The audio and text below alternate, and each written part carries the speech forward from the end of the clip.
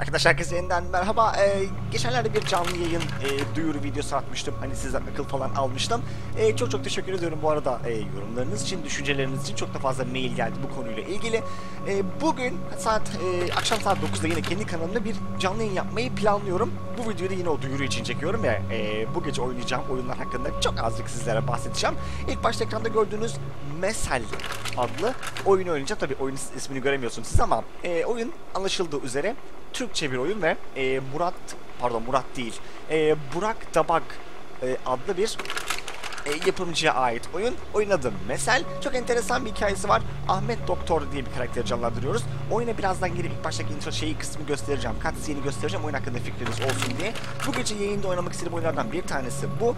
E, 2-3 tane daha oyun oynamak istiyorum. Baktım aslında bu oyunlara. Hem kısa oynanışa sahip olduğu için hızlı hızlı bitiririz gibisinden düşündüm. Bir tanesi Horror in the Asylum. Ben bu e, oyunların linklerini, Steam linklerini tam videonun alt kısmında bırakacağım. İsimden anlayamadığınız takdirde oradaki linklere basarak da oyunlar hakkında fikir sahibi olabilirsiniz. Bir tanesi the Asylum, e, White Mirror ve Keep Them Below adlı 3 tane daha oyun oynayacağım bu meselin yanında. Kısa olduğu için herhalde 2 saat, 2,5 saat, bilmiyorum belki 3 saate yayınımızı tamamlamış olurum. İlk yayınım olduğu için, olacağı için kendi çok heyecanlıyım. Beni yalnız bırakmazsanız çok sevinirim. Hemen oyunun cutscene'ini göstereyim sizlere. E, oyunda korku temalı bir oyun ve e, ilerledikçe kendiniz aynı zamanda roman oluşturuyorsunuz. Bundan da hızlı bir şekilde e, bahsedeyim. Siz ilerledikçe romanınız şekil alıyor. Hemen cutscene izleyelim. E, ona göre canlı yayında ne oynayacağım hakkında bir fikir sahibi olalım. Gayet güzel gözüken bir oyun ki sistemdeki... Bir saniye. Efendim.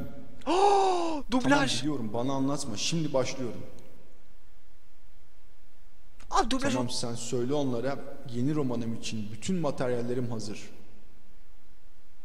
Heh, onlara tonlarca para kazandırırken bunlar hiç sorun olmuyordu ama. Tamam izin verin de çalışayım. Yok artık. Abi dublaj çok başarılı olmuş.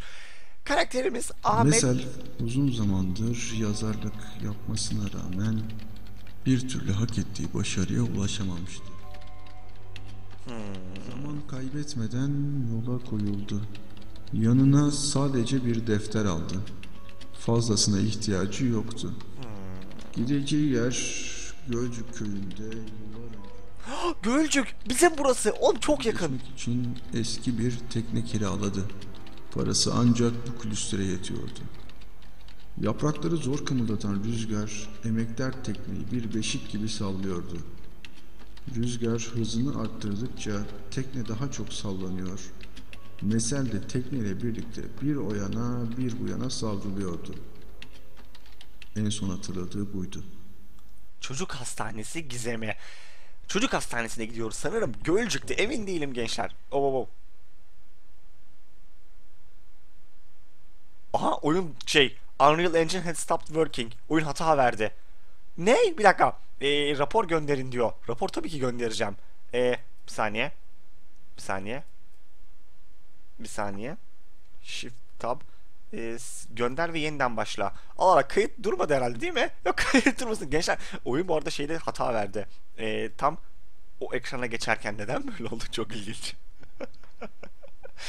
işte enteresan hikayeli bir oyun. Hastaneye gideceğiz. Bakalım gidebilecek miyiz? Ben videoyu tamamlayamadım. Oyunu şu an tekrardan başlatıyorum. Evet oyunu şu an en baştan başlattım. Onu söyleyeyim. Ve şu an hangi ekrandayız? Abi ciddi misin? Her neyse. Geçer böyle bir oyun oyuna tam başlama ekranındayken hata verdi. Neden verdi inanın hiçbir fikrim ee, yok ama umarım yayında da bu cutscene'in tam bitiminde kaldığımız yerden devam ederiz diye düşünüyorum. Teşekkür ederim izlediğiniz için. Ee, canlı yayın saat 9'da olacak ve kendi kanalımda olacak. Linki aşağıya bırakacağım hiç merak etmeyin. Akşam görüşüyoruz. Kendinize çok iyi bakın ve hoşçakalın.